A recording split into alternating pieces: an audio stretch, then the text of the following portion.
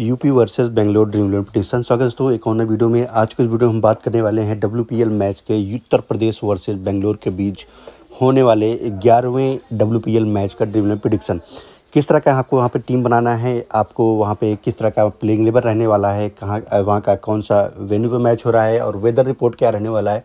Pitch किसके favour में रहने वाला है? जैसे कि हर एक वीडियो में हम बात करते हैं कि वहाँ का पिच रिपोर्ट पहले देखते हैं। उसके बाद हम प्लेयर का सिलेक्शन करते हैं, उसके बाद हम प्लेयर कैप्टन वाइस कैप्टन का सिलेक्शन करते हैं। कैप्टन वाइस कैप्टन हम बनाते हैं, जो उसी पिच रिपोर्ट के अकॉर्डिंग ही बनाते हैं। और आप देख भी रहे होंगे कंटिन्यूअर जो भी मैं टीम बना रहा हूँ, उसमें आप देख रहे होंगे अच्छा खासा रिस्पॉन्स आ रहा है और जो भी टीम बना रहा है, उसको वहाँ पर अच्छे पॉइंट अर्न करने को मिल रहे हैं। जो भी कैप्टन वाइस कैप्टन बना रहा हूँ, वो कम से कम डेढ़ सौ पॉइंट तो आपको दे के ही जा रहा है। तो आपको मैं आज इस वीडियो में बताने वाला हूँ कि जो उत्तर प्रदेश वर्सेज बेंगलोर के बीच डब्ल्यू का मैच होने वाला है, उसका ड्रीम प्रोडिक्शन किस तरह का रहने वाला है। चलिए वीडियो स्टार्ट कर लेते हैं। उससे पहले अगर आपने अभी तक मेरे चैनल को सब्सक्राइब नहीं किया, चैनल को सब्सक्राइब कर लीजिएगा। वीडियो पसंद, वीडियो को लाइक ज़रूर करिएगा। सबसे पहले तो बात कर लेते हैं, ये जो मैच होने वाला है, यूपी वर्सेस बेंगलोर का मैच है और यहाँ पे आपको देख रहे होंगे बहुत सारे आपको एंट्रीज़ मिलती हैं फ्री एंट्री मिलती हैं, या आपको डिस्काउंटेड एंट्री मिलती हैं। तो ये सब आपको कैसे डिस्काउंटेड एंट्री फ्री एंट्री मिलता है, इन सब के वीडियोज़ मैंने बना चुका हूँ पहले। तो आपको अगर इन सब का जानकारी लेना है, कैसे आपको फ्री एंट्री पाना है, कैसे आपको डिस्काउंटेड एंट्री पाना है, ये सब यहाँ पे आपको आई बटन में मैं दे दूँगा, कुछ लिंक आपको मिल जाएगा, वहाँ पे आप क्लिक करके उस आपको जान सकते हैं कि कैसे आप फ्री एंट्री पा सकते हैं, कैसे आप डिस्काउंटेड एंट्री पा सकते हैं। सबसे पहले यहाँ टीम की बात कर लेते हैं तो चलिए क्रिएट टीम पे क्लिक करके देख लेते हैं किस तरह का यहाँ पे सबसे पहला जो हमारा, जो फ़र्स्ट प्रायोरिटी होता है कि हम यहाँ पे पिच रिपोर्ट देखते हैं, वहाँ का वेदर रिपोर्ट क्या है। बेंगलुरु के स्टेडियम में मैच होने वाला है।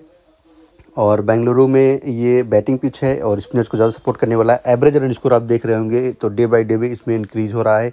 एक सौ चौवन का एवरेज रन स्कोर आ गया है और चौवन विकेट गिरे हैं। टोटल छब्बीस पेसर्स को और अट्ठाईस स्पिनर्स को इसमें भी दोनों में देखें ज़्यादा सिमिलरिटी आपको नहीं, उसमें ज़्यादा डिफरेंस आपको नहीं दिख रहा होगा, क्योंकि 26 और 28 बहुत ज़्यादा अंतर नहीं है। और यहाँ पे देख रहे होंगे, अगर हम हेड टू हेड बात करें तो तीन मैच खेले गए हैं तो दो बेंगलोर और एक यूपी को जीत मिली है।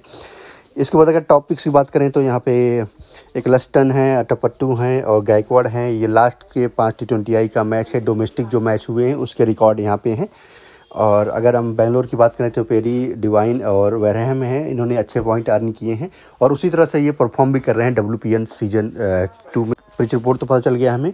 एक सौ चौवन का एवरेज रन स्कोर है मतलब हाई स्कोरिंग गेम यहाँ पे देखने को मिलेगा। दोनों ही टीमें अच्छी हैं।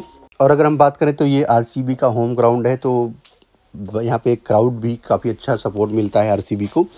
ये भी अंतर यहाँ पे जो देख रहे होंगे हेड टू हेड दो आरसीबी और एक यहाँ पे ओपी को जीत मिला है। तो ये भी एक बड़ा फैक्टर है। तो यहाँ पे टीम की बात कर लेते हैं तो हमारे पास विकेट कीपर में दो ऑप्शन है हेली हैं और रिचा घोष है। तो दोनों का अगर आप पॉइंट देखेंगे तो 145 हेली का और एक सौ पंचानवे रिचा घोष का। तो हम दोनों दोनों प्लेयर के साथ चलते हैं। सिलेक्शन बाई परसेंटेज देखेंगे तो छियासी परसेंट हेली और बहत्तर परसेंट रिचा घोष का है। उसके बाद यहाँ पे बैटिंग का बात कर लेते हैं तो हमारे पास बैटिंग में स्मृति मंदाना है। इनका दो सौ इकतीस पॉइंट है अच्छा फॉर्म है। और ग्रेस हैरिस भी सेट कर सकते हैं। ग्रेस हैरिस आपका कैप्टन और वाइस कैप्टन का भी ऑप्शन हो सकती है तो इसलिए ग्रेस ग्रेस हैरिस को आप नहीं ड्रॉ कर सकते हैं। यहाँ पे आप मेघना को भी सेट कर सकते हैं, और नौगिरे हैं, इन्होंने भी परफॉर्मेंस अच्छा दिया है। इनको भी आप ले सकते हैं। हालाँकि मैं भी दो प्लेयर के साथ आगे चलता हूँ।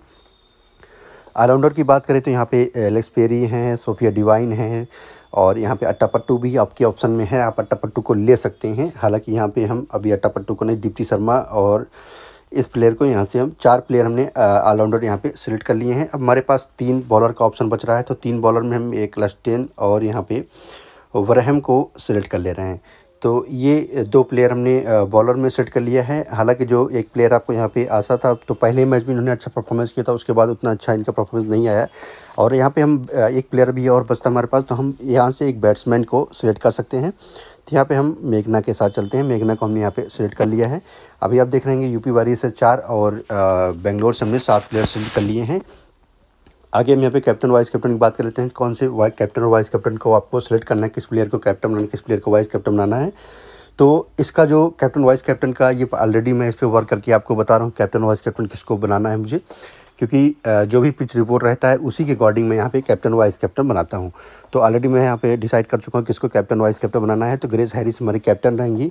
अगर हम वाइस कैप्टन की बात करें तो यहाँ पे हमारे पास ऑप्शन यहाँ पे सोफिया डिवाइन का है तो हम यहाँ पे वाइस कैप्टन सोफिया डिवाइन को बना रहे हैं।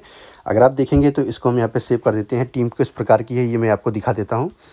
तो ये देख सकते हैं आप, इस प्रकार की हमारी कुछ टीम है। दो विकेट कीपर हैं, तीन बैट्समैन हैं, चार ऑलराउंडर है और दो हमारे पास पेसर्स हैं।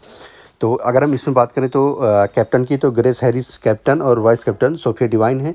इसमें जो भी चेंजेस होंगे, वो आपको जैसे ही लाइन अप आउट होता है, उसके बाद आपको चेंजेस वहाँ से पता चल जाएगा। करना क्या है, आपको टेलीग्राम चैनल आपको मेरा ज्वाइन करके रखना है। अगर आपने अभी तक ज्वाइन नहीं किया है डिस्क्रिप्शन बॉक्स में जाइए और फटाक से उसको क्लिक करके उसको ज्वाइन कर लीजिए। अगर आप टेलीग्राम चैनल ज्वाइन करके रखेंगे तो आपको वहाँ पे जैसे ही मैच स्टार्ट होने वाला होगा आप आ, मैच स्टार्ट होने के आधे घंटे पहले लाइन अप आउट जैसे होता है सात बज के पाँच मिनट सात बजे के दस मिनट पर आपको वहाँ से दो से तीन टीम आपको टेलीग्राम चैनल पर मिल जाएगा जिसमें आपको ग्रैंड लीग की टीम मिलेगी और स्मॉल लीग की टीम मिलेगी और आपको वहाँ पर कुछ रिस्की टीम भी मिल जाएँगे।